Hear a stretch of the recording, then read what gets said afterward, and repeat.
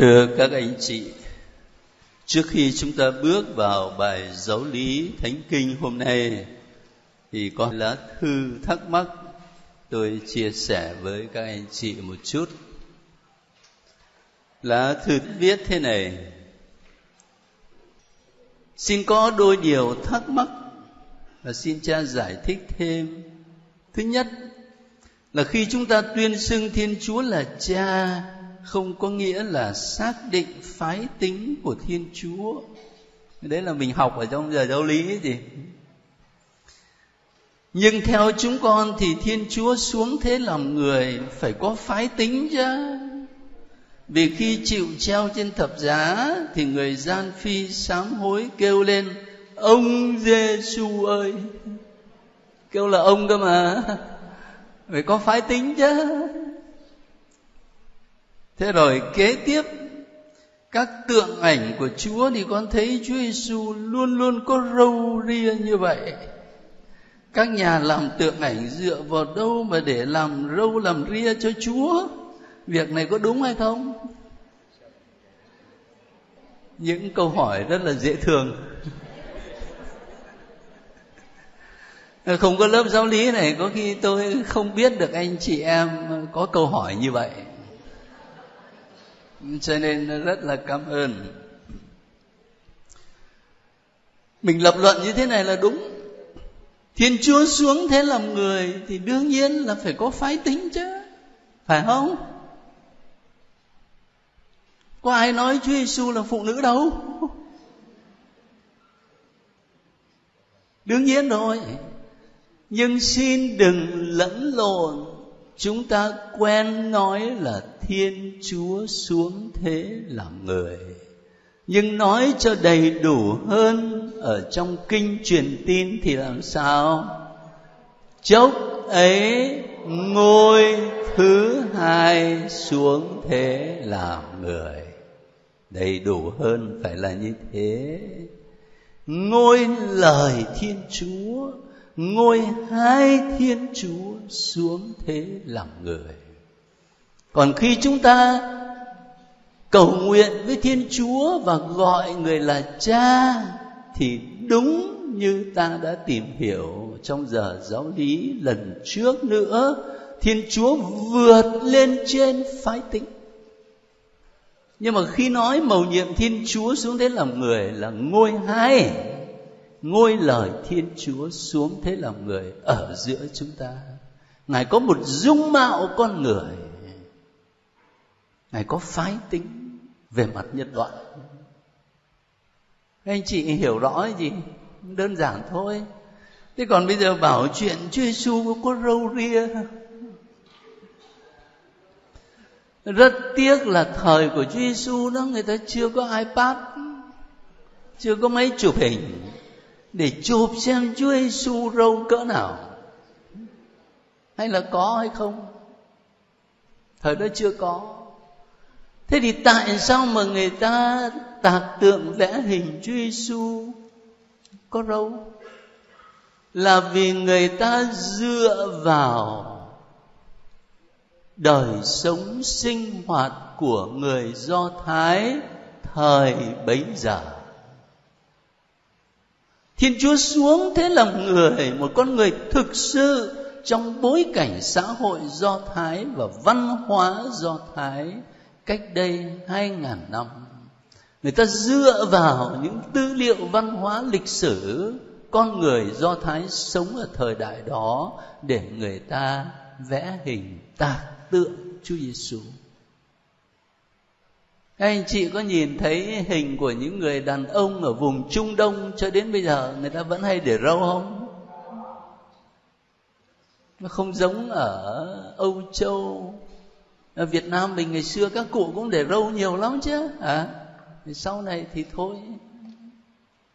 Thế cho nên dựa vào đâu? Thì là dựa vào cái bối cảnh xã hội văn hóa của do thái thiên chúa xuống thế làm người, là một người do thái trong lịch sử, trong xã hội do thái. Thế tôi chia sẻ lại thắc mắc đó để các anh chị có gửi thư thì an tâm là tôi đã nhận được. Còn những thắc mắc mới nhận hôm nay thì xin khất đến tuần sau. Và vì lớp chúng ta đông lắm cho nên mình không thể trao đổi thắc mắc trực tiếp ở trong lớp thì các anh chị có băn khoăn điều gì thì xin chịu khó cứ viết ở trên giấy để gửi cho tôi tôi sẽ sắp xếp chia sẻ lại. Nào, thế bây giờ chúng ta tiếp tục đề tài giáo lý của ngày hôm nay. Và nó tiếp nối đề tài của những tuần trước.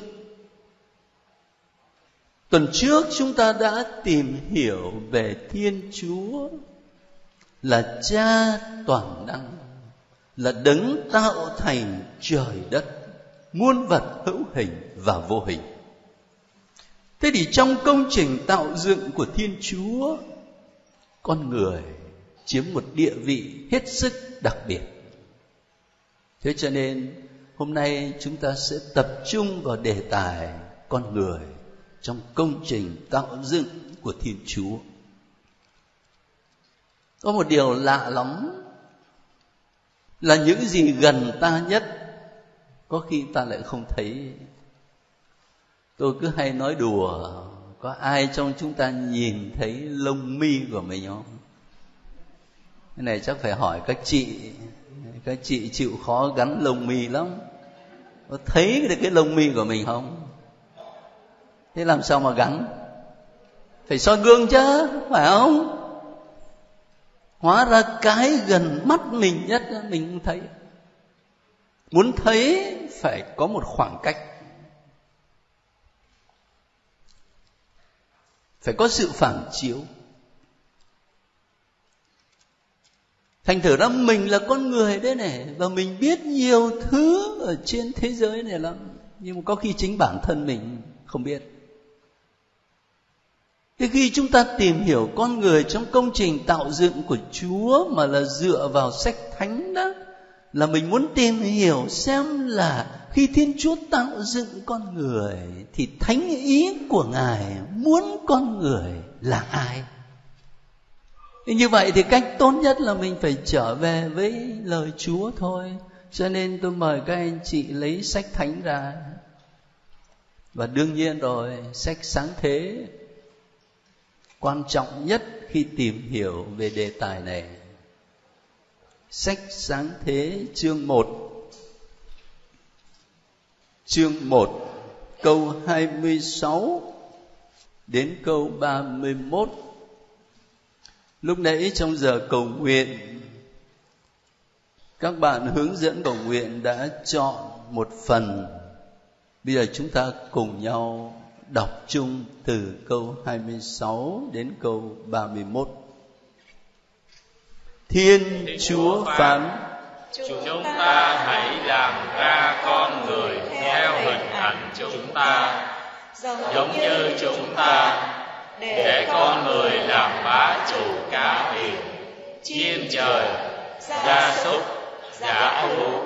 Tất cả mặt đất và mọi giống vật bò dưới đất thiên chúa sáng tạo con người, theo hình ảnh mình. Thiên chúa sáng tạo con người, theo hình ảnh thiên chúa. Thiên chúa sáng tạo con người, có nam, có nữ.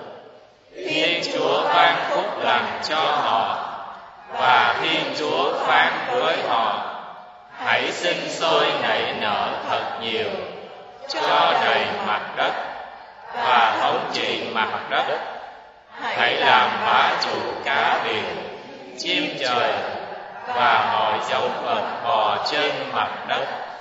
Thiên chúa phán, đây ta ban cho các ngươi mọi thứ cỏ mang hạt giống trên khắp mặt đất và mọi thứ cây có trái mang hạt giống để làm lương thực cho các ngươi.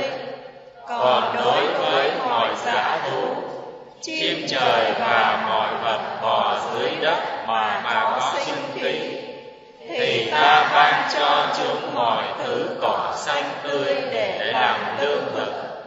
Liền có như vậy. Thiên chúa thấy mọi sự người đã làm ra quả là rất tốt đẹp.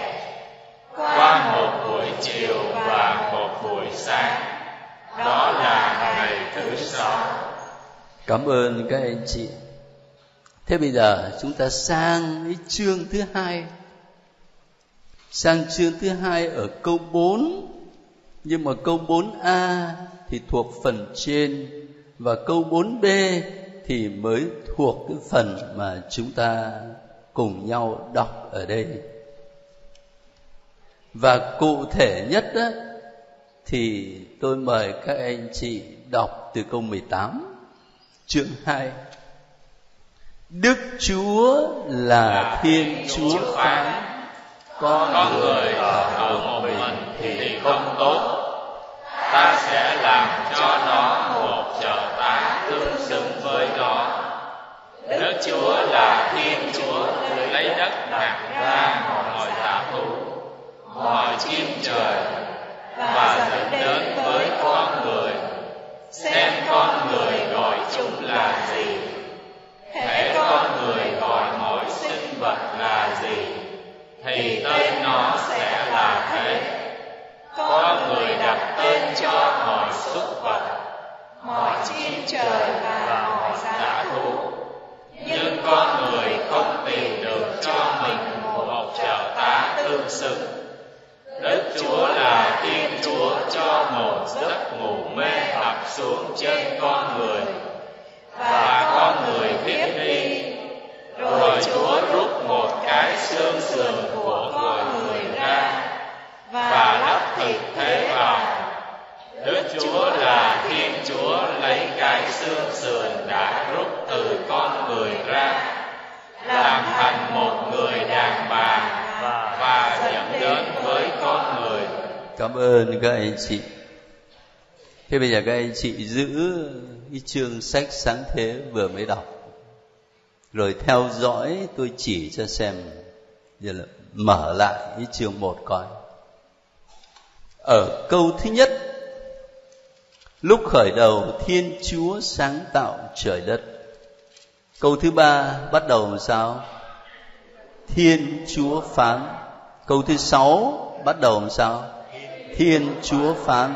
Câu thứ chín, thiên chúa phán câu thứ mười một. Chúng ta thấy lập đi lập lại thiên chúa phán. Thế bây giờ, lật sang chương hai coi này. Bắt đầu từ câu 4b coi. Ngày đức chúa là thiên chúa làm ra đất và trời. Rồi, đến câu thứ chín coi đức chúa là thiên chúa khiến từ đất mọc lên đủ mọi thứ cây, trông thì đẹp, ăn thì ngon, với cây trường sinh. Rồi, câu 18 coi. Đức Chúa là Thiên Chúa phán. Và đủ rồi. Thế có thấy sự khác biệt không? Sự khác biệt nó nằm ở đâu? Ở trong chương 1 của sách sáng thế Chỉ nói là Thiên Chúa phán Thiên Chúa phán Bước sang chương 2 từ câu 4b thì nói làm sao? Đức Chúa là Thiên Chúa làm thế này, làm thế kia. Khác nhau ở chỗ đó. Và như thế chúng ta hiểu ít nhất ở đây đã có hai trình thuật do hai nguồn văn khác nhau. Những anh chị đã học kinh thánh 100 tuần, nhớ lại coi, khi học sách sáng thế tôi đã nói, nhưng mà chắc là quên gần hết rồi. Là các nhà nghiên cứu kinh thánh, người ta khám phá ra là có đến mấy nguồn văn bốn nguồn văn. Nguồn văn thứ nhất đó, gọi là e bởi vì khi người ta nói về thiên chúa người ta dùng từ elohim. Cái nguồn văn thứ hai đó là G bởi vì khi nói về thiên chúa Yahweh Đức Chúa là Thiên Chúa. Cái nguồn văn thứ ba đó gọi là tư tế nhưng mà người ta viết tắt là P ở trong tiếng Anh Priesthood Codex. Một cái giọng văn nó trang trọng và khi nói về Thiên Chúa cũng dùng từ Elohim. Và nguồn văn thứ tư đó được gọi là đệ nhị luật, viết tắt là đi Deuteronom. Có tới bốn nguồn văn. Ở đây ít nhất trong trình thuật về việc thiên chúa tạo dựng vũ trụ và con người, ta đã thấy có hai nguồn văn rồi. Bởi vì dựa vào sách thánh, cho nên tôi dẫn nhập một chút, chứ chúng ta đâu có giờ để mà đào sâu vấn đề này. Nó khá là chuyên môn. Chỉ có ý nói với các anh chị như vậy là có hai trình thuật về việc thiên chúa tạo dựng con người. Và hai trình thuật này rất quan trọng là nền tảng để chúng ta dựa vào mà tìm hiểu cái giáo huấn của hội thánh thánh ý của chúa về con người. Thế bây giờ sang phần tân ước, tôi mời các anh chị lấy tin mừng Matthew ở chương 10 đoạn tin mừng này không xa lạ gì với chúng ta. Ở chương 10 câu 28 đến câu 31 chương 10 câu 28 đến 31 mời các anh chị. Anh em đừng sợ những kẻ giết thân xác mà mà không giết được linh hồn. Đúng hơn, anh em hãy sợ đấng có thể tiêu diệt cả hồn lẫn xác trong hỏa ngục hai con chim sẻ chỉ bán được một hào phải không? Thế mà không một con nào rơi xuống đất ngoài ý của cha anh em. Thì đối với anh em cũng vậy. Ngay đến tóc trên đầu anh em, người cũng đếm cả rồi. Vậy anh em đừng sợ. Anh em còn quý giá hơn muôn vàng chim sẻ. Cảm ơn các anh chị anh em đừng sợ. Anh em quý giá hơn muôn vàng chim sẻ. Chúa Giêsu nói với chúng ta như thế. Và như vậy là Chúa Giêsu cho thấy phẩm giá của con người cao cả lắm. Và phẩm giá cao cả ấy, nó gắn với phần ở trên đó. Đừng sợ những kẻ giết thân xác mà không giết được linh hồn nhưng hãy sợ đấng có thể tiêu diệt cả hồn lẫn xác trong hỏa ngục Chúa Giêsu bắt đầu cho mình thấy cái phẩm giá của con người nó cao cả và con người có hồn có xác. Thế rồi các anh chị đang uh, giữ tin mừng Matthew thì mở tới luôn chương 16 chương 16 câu 24 đến 26 đoạn tin mừng này cũng rất gần gũi với chúng ta. Mời các anh chị. Rồi Đức Giêsu nói với các môn đệ, ai muốn theo thầy, phải từ bỏ chính mình vác thập giá mình mà theo. Quả vậy, ai muốn cứu mạng sống mình thì sẽ mất. Còn ai liều mất mạng sống mình vì thầy, thì sẽ tìm được mạng sống ấy. Vì nếu người ta được cả thế giới mà mà phải liệt mất mạng sống, thì nào có lợi gì? Hoặc người ta sẽ lấy gì mà đổi mạng sống mình? Cảm ơn các anh chị. Cái từ mạng sống ở đây đó chúng ta có thể dịch là linh hồn. Cho nên chuyện kể là ngày xưa thánh Ignacio, khi ngài kêu gọi thánh Francisco Xavier hiến thân cho Chúa để lo việc truyền giáo đó, thì ngài nói với Francisco làm sao? Được cả đời này mà mất linh hồn thì được ích gì? Lúc đấy Francisco là một thanh niên còn trẻ, học rất giỏi và đang dạy ở đại học Paris. Sau đó đó, ngài khám phá ra tiếng gọi của chúa, ngài giã từ hết. Rồi đi tu, đi giảng tin mừng ở bên ấn độ. Rồi từ ấn độ đi sang nhật bản.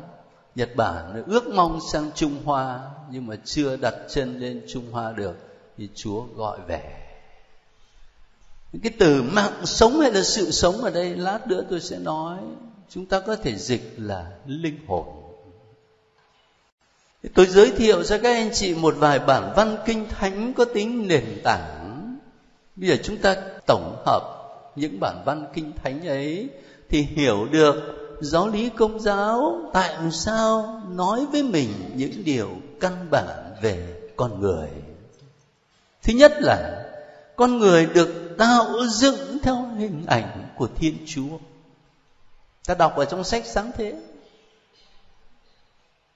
người ta đưa ra biết bao nhiêu định nghĩa về con người mà Kitô giáo dựa vào lời Chúa thì trả lời, con người được tạo dựng theo hình ảnh của Thiên Chúa. Cao quý lắm. Bởi vì theo hình ảnh của đấng tạo hóa cơ mà. Mà chính vì thế khi so sánh với các loài vật khác á, chúng ta khám phá ra nơi mình, nơi con người những khả năng đặc biệt. Chẳng hạn như là chúng ta có khả năng nhận thức về chính bản thân của mình. Con vật nó có cái khả năng đó không? Nó không có khả năng đó. Chỉ có con người mới có khả năng nhận thức về chính mình. Tôi vừa là chủ thể nhìn, tôi vừa là đối tượng được nhìn. Tôi nhìn tôi. Cái chìa khóa này nó không thể tự nó nhìn nó được. Và cũng không có loài vật nào ở trên trái đất này tự nó nhìn nó được. Chỉ có con người mới có khả năng nhận thức chính bản thân của mình rồi cũng chỉ có con người mới có khả năng để làm chủ bản thân của mình. Vì có thể làm chủ bản thân, cho nên chúng ta dù có chết đói đi nữa, nhưng mà thà chấp nhận chết, còn hơn là chấp nhận một hành vi xúc phạm đến phẩm giá của mình chẳng hạn. Còn con chó nó đói người ta quăng miếng thịt thì nó nhào tới nó ăn thôi. Nó hành động theo bản năng. Còn con người có khả năng làm chủ bản thân của mình, làm chủ cả những dục vọng của mình. Và đồng thời cũng chỉ có con người mới có khả năng để tự hiến bản thân mình cho người khác một cách hoàn toàn tự do và ý thức chứ không phải vì bị ép buộc. Thế cho nên chỉ có con người mới chịu trách nhiệm về những gì mình làm. Được tạo dựng theo hình ảnh thiên chúa, cho nên có một phẩm giá rất cao cả.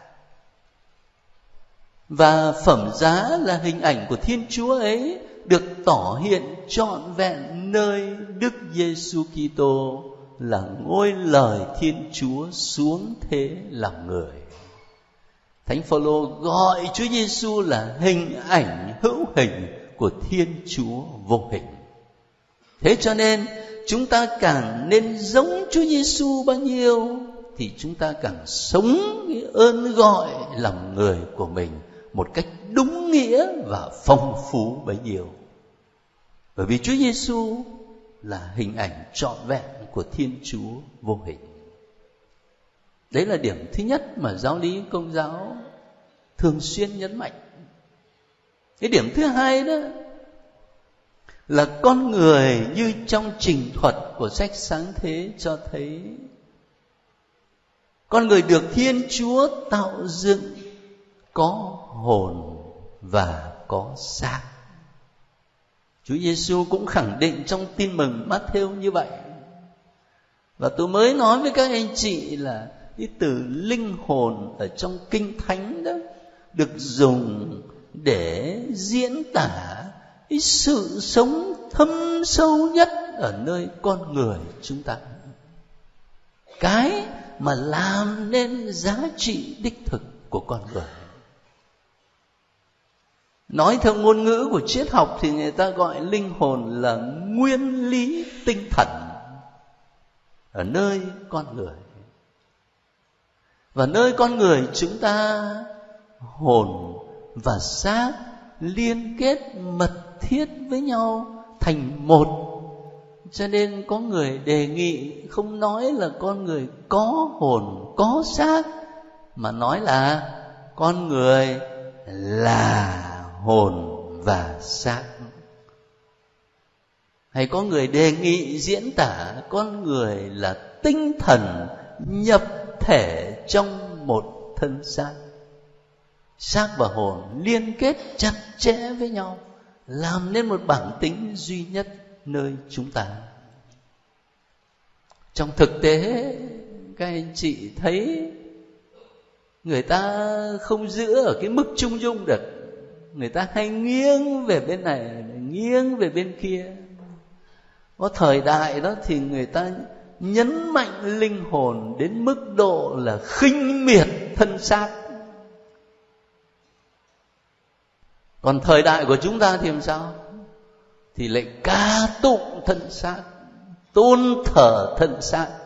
Đến nỗi con người hầu như chỉ còn có cái xác ừ, tinh thần zero. Người ta dễ nghiêng về thái cực này hoặc là thái cực khác. Nhưng mà kinh thánh thì không trình bày như vậy. Mà kinh thánh cho mình thấy hồn và xác kết hợp với nhau thật là chặt chẽ, làm nên bản tính của mình. Và theo giáo lý công giáo thì linh hồn mà chúa phú ban cho chúng ta có chết không? Bất tử cho nên trong giờ chết thì mình vẫn gọi là hồn lìa khỏi xác. Và trong kinh tin kính, bao giờ đến cái phần cuối đó thì chúng ta sẽ tìm hiểu. Chúng ta tuyên xưng những sự phục sinh thân xác. Linh hồn kết hợp lại với thân xác. Thì ở phần này, tôi chỉ xin các anh chị thực sự là tôi chả dạy gì mới đâu. Tôi chỉ nhắc lại cho các anh chị mà dựa vào sách thánh. À, chứ nếu không thì chúng ta nghĩ cái này là người công giáo tự nghĩ ra. Không phải. Mà là dựa vào mạc khải của chúa dựa vào lời của chúa để thấy được phẩm giá con người của mình. Có hồn có xác. Và mình cần phải trân trọng cả thân xác cả linh hồn cả đời sống vật chất lẫn đời sống tinh thần. Phải có sự hài hòa. Thế rồi một điểm nữa mà ngày hôm nay cũng quan trọng lắm. Đó là con người được tạo dựng. Có nam và có nữ. Ở trong tiếng việt của chúng ta thì cũng có giống đực giống cái chứ, phải không? Khi mình học tiếng ờ, pháp hay tiếng anh hay là nhiều ngôn ngữ ở trên thế giới thì người ta cũng hay phân biệt giống đực và giống cái. Nhưng mà trong tiếng latin nó còn thêm một cái giống nữa cơ. Giống gì biết không? Giống dở. Hay là cũng có thể dịch là trung tính. Không chỉ có giống đực, giống cái, còn có giống dở. Nhưng mà kinh thánh đó thì chỉ có nói đến nam và nữ. Ngày hôm nay ta bắt đầu đối diện với vấn đề giới tính thứ ba. Chắc là để một lúc nào đó rồi mình bàn đến nó đầy đủ hơn. Còn ở đây chỉ nói một cách tổng quát dựa vào những bản văn kinh thánh đấy cái trình thuật của sách sáng thế cho thấy thiên chúa tạo dựng con người, con nam, con nữ. Giữa người nam và người nữ có sự khác biệt. Kinh thánh không mô tả cái sự khác biệt đấy. Nhưng mà bằng kinh nghiệm cuộc sống thì chúng ta thấy sự khác biệt về mặt thể lý, sự khác biệt cả về mặt tâm lý nữa nhưng dù có sự khác biệt đi nữa, thì hai bên nam nữ hoàn toàn bình đẳng với nhau ở trong sách sáng thế mà các anh chị đã đọc đó, tôi chỉ nhắc lại thôi câu 27 chương thứ nhất Thiên Chúa sáng tạo con người có nam có nữ. Thiên Chúa sáng tạo con người theo hình ảnh của Thiên Chúa. Cho nên cả nam và nữ đều được tạo dựng theo hình ảnh của Chúa cả. Và vì thế hoàn toàn bình đẳng với nhau. Rồi nếu chúng ta đọc trình thuật tạo dựng ở trong sách sáng thế thì các anh chị sẽ thấy Thiên Chúa phán thiên chúa phán thiên chúa phán khi chúa tạo dựng vạn vật đó, thì như vậy. Nhưng mà đến khi tạo dựng con người thì làm sao? Thiên chúa phán, chúng ta hãy làm ra con người theo hình ảnh chúng ta. Rất là trang trọng. Chứ không phải chỉ nói là, hãy có con người thì có con người. Mà rất trang trọng. Chúng ta hãy làm ra con người theo hình ảnh của chúng ta cả nam và nữ đều là hình ảnh của chúa và hoàn toàn bình đẳng với nhau. Cái trình thuật thứ hai ở trong sách sáng thế kể về việc thiên chúa tạo dựng người đàn bà. Nó khác hẳn cái việc thiên chúa tạo dựng các loài vật. Thành thử ra, thứ nhất là có sự khác biệt, thứ hai là hoàn toàn bình đẳng, và thứ ba là bổ túc cho nhau. Bổ túc cho nhau. Sách sáng thế ở chương thứ hai kể rằng, con người ở một mình thì không tốt, ta sẽ làm cho nó một trợ tá tương xứng với nó. Bổ túc cho nhau. Và điều này thì trong đời sống hôn nhân khi mà người nam, người nữ kết hợp với nhau nên một xương, một thịt và có khả năng lưu truyền sự sống cho những thế hệ khác, thì chính đời sống hôn nhân thể hiện như lời mời gọi của Chúa một cách cụ thể nhất. Cho nên ở trong phần đầu, chúng ta dựa vào sách thánh để nhắc nhớ với nhau phẩm giá đích thực của con người là được tạo dựng theo hình ảnh của thiên chúa. Hay làm sao mình ý thức phẩm giá cao quý đó để mình sống phẩm giá đó cho đúng như chúa muốn? Thế bây giờ tôi mời các anh chị đi tiếp một phần nữa ờ, trước khi chúng ta kết thúc giờ học. Đó là chúa tạo dựng con người thuở ban đầu thì con người được chúa đặt ở trong vườn địa đàng. Mà muốn biết như thế nào thì ta lấy lại sách sáng thế thôi. Mời các anh chị lấy sách sáng thế ở chương 2 đó. Và phần này thì khá dài. Nhưng mà sách thánh mô tả là đức chúa là thiên chúa khiến từ đất mọc lên đủ mọi thứ, cây trông thì đẹp, ăn thì ngon, với cây trường sinh ở giữa vườn và cây cho biết điều thiện, điều ác. Rồi thì có sông, rồi đức chúa là thiên chúa đem con người đặt vào vườn eden để cày cấy và canh giữ đất đai chúng ta dịch là vườn địa đàng. Nhưng mà bản văn mà tôi vừa mới đọc đó thì giữ đúng từ là Eden. Sài Gòn mình có Eden không nhỉ? Mấy giờ mất rồi? Cho nên ờ, có nhiều nhà hàng khách sạn là người ta lấy tên ở trong kinh thánh ra đấy chứ. Eden là một trường hợp điển hình. Đối diện với Eden là Rex. Ờ, là tiếng Latin đấy mình nhìn lên thập giá của Chúa Giêsu có dòng chữ in ri. Jesus Nazarenus Rex Israelis. Có Rex ở trong đó. Vua đấy.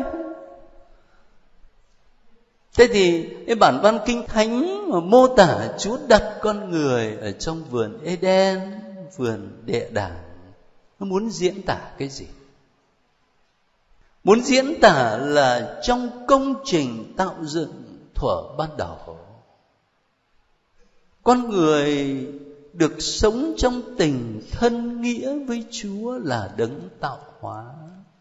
Rồi sống hài hòa với bản thân của mình, sống hài hòa với tha nhân mà cụ thể là adam khi mà có eva thì kêu lên, đây là xương bởi xương tôi và thiệt bởi thì tội, và ông rất hạnh phúc.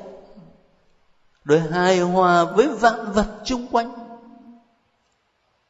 Vườn Eden diễn tả cái sự hài hòa như thế. Thế còn ngôn ngữ của giáo lý sau này gọi bằng một từ nghe nó có vẻ khô khan nhưng mà các anh chị cũng nên làm quen để khi đọc sách thì mình không lấy làm lạ. Người ta diễn tả bằng từ ngữ là tình trạng thánh thiện và công chính nguyên thủy. Mình gặp cái từ tình trạng thánh thiện và công chính nguyên thủy là mình nhớ đến những hạnh phúc thuở ban đầu khi thiên chúa tạo dựng con người. Và ở trong sách sáng thế có nói việc thiên chúa phán với con người hãy sinh sôi nảy nở thật nhiều cho đầy mặt đất và thống trị mặt đất. Làm chủ. Cái sự làm chủ này, nó bắt đầu từ chính bản thân chúng ta.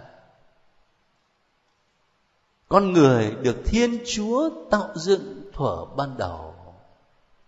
Chúa ban cho có cái khả năng làm chủ bản thân à, dĩ nhiên là hoàn toàn tự do. Chứ nếu mà bảo làm chủ bản thân mà không có tự do thì đâu còn phải làm chủ nữa. Mình thành robot mất rồi. Nhưng mà cái lý tưởng đó là làm chủ được bản thân. Một cách cụ thể là làm chủ được những dục vọng của mình. Có ba thứ dục vọng mà kinh thánh nói đến. Thứ nhất đó là lạc thú của giác quan. Thứ hai là ham mê của cải. Và thứ ba là kiêu căng tự mãn giờ tôi xin các anh chị cứ chân thành nhìn lại kinh nghiệm sống của mình coi. Có phải tất cả những tội lỗi của chúng ta nặng nhẹ gì đó là nó bắt nguồn từ ba cái dục vọng này? Thứ nhất, lạc thú của giác quan chúng ta phạm tội liên quan đến cái lạc thú của giác quan nhiều lắm. Mình không làm chủ được. Mình chỉ muốn thỏa mãn tối đa thôi. Mình không biết đâu là giới hạn. Và thứ hai, có phải nhiều tội chúng ta phạm phát xuất từ chỗ ham mê của cải? Khi mà nói của cải ở đây possessio ở trong tiếng Latin thì còn có thể hiểu rộng ra đó là sở hữu. Nó không chỉ là của cải vật chất mà cả sở hữu trí tuệ sở hữu tinh thần. Mình không làm chủ được cái ước muốn sở hữu này. Ngay trong khi cầu nguyện ấy, có khi nghèo quá thì cái cầu xin chúa lạy chúa một cây là đủ rồi. Nhưng mà đến khi có một cây thì có khi lại cầu nguyện nó khác rồi. Và thứ ba là kiêu căng tự mãn bất cứ ai trong bậc sống nào cũng dễ có ý nghĩ kiêu căng tự mãn và nếu mình không làm chủ thì nó sẽ dẫn đến lời nói như thế này, hành động như thế kia làm mất tương quan với người khác. Cho nên kinh thánh mà nói đến ba thứ dục vọng này đáng cho chúng ta quan tâm lắm. Đọc ở trong thư của Gioan. Và cũng chính vì có tự do nhưng mà không làm chủ được ba thứ dục vọng này, cho nên điều đáng tiếc đã xảy ra là nguyên tổ của nhân loại đã đánh mất sự hài hòa thuở ban đầu, đã đánh mất cái tình trạng công chính, thánh thiện, nguyên thủy. Và đó là đề tài mà mình phải dành hẳn cho một buổi giáo lý khác để tìm hiểu về tội nguyên tổ, tội tổ tông truyền. Thế lần sau chúng ta sẽ dành thời giờ cho công việc đấy. Thế hôm nay tôi gút lại có hai phần chính. Chúng ta dựa vào sách thánh để mà tìm hiểu về phẩm giá của con người trong công trình tạo dựng và đồng thời như là một cái ờ, bước chuyển tiếp chuẩn bị cho bài tới đó, mình thấy được con người trong vườn địa đàng trong tình trạng công chính nguyên thủy như thế nào thế bây giờ chúng ta cùng nhau dành ít phút thinh lặng để hồi tâm và cầu nguyện Tin mừng Chúa Giêsu Kitô theo Thánh Matthew. Chúa Giêsu nói: Nếu người ta được cả thế giới mà phải thiệt mất mạng sống, thì nào có lợi gì? Hoặc người ta sẽ lấy gì mà đổi mạng sống mình?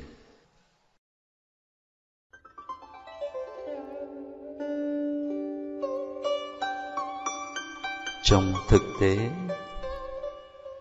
có nhiều khi không phải là để đánh đổi cả thế giới mà có thể chỉ vì một món lợi nhỏ trước mắt thôi. Con người chúng ta cũng có thể đánh mất cả linh hồn, cả sự sống. Điều đó có xảy ra trong đời sống của tôi không?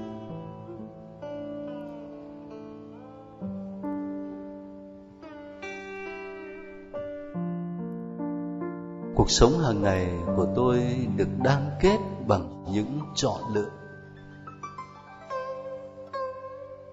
Và khi chọn lựa thì tôi phải chọn điều này, bỏ điều khác. Vậy trong những chọn lựa đó, tôi thường chọn lựa chúa, chọn lựa giá trị tin mừng hay là chọn lựa thế gian và những lợi lộc mà thế gian hứa hẹn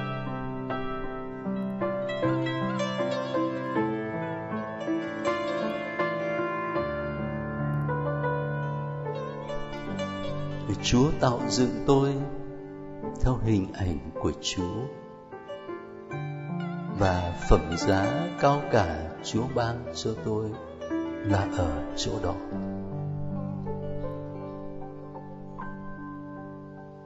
Thế nhưng tôi thường đánh giá về bản thân mình dựa vào tiêu chuẩn nào? Và tôi đánh giá anh em tôi dựa vào tiêu chuẩn nào? Dựa vào tiêu chuẩn, họ là hình ảnh của chúa? Hay dựa vào tiêu chuẩn là những cái bên ngoài vật chất? Xác thịt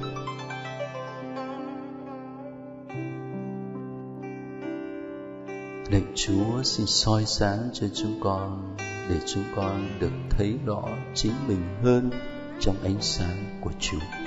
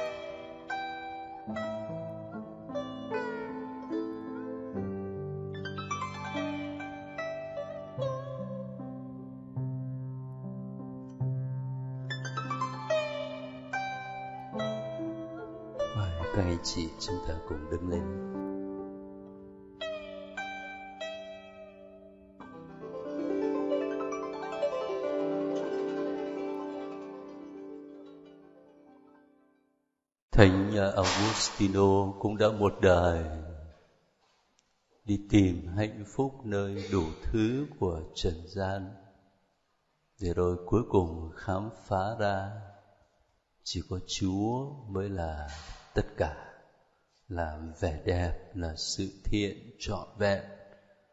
Và ngài đã để lại cho chúng ta một lời cầu nguyện tuyệt vời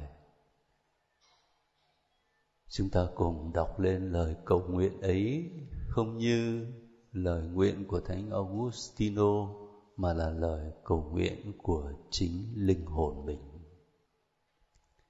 Lạy chúa chúa đã dựng nên con cho chúa, và tâm hồn con còn mãi băn khoăn khắc khoải cho đến khi được nghỉ yên trong chúa.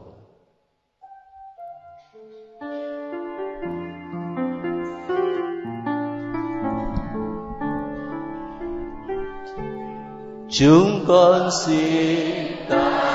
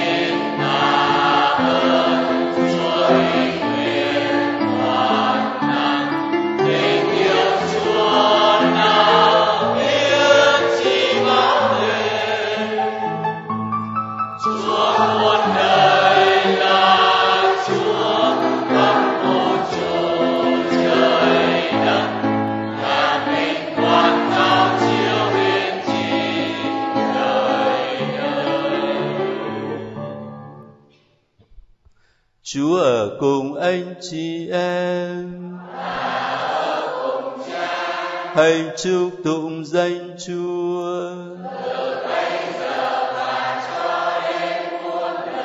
Ơn phù trợ chúng ta ở nơi danh Chúa.